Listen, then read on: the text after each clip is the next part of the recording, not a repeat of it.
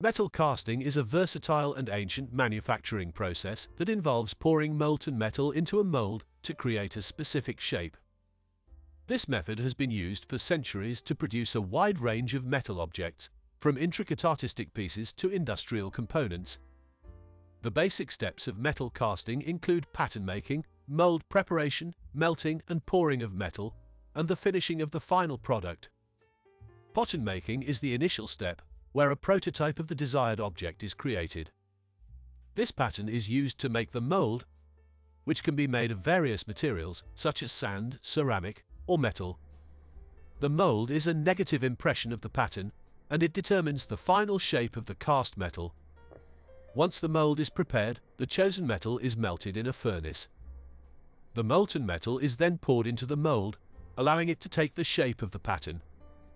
After cooling and solidification, the metal object is removed from the mold, revealing the final cast product. Metal casting is employed in various industries, including automotive, aerospace, and art.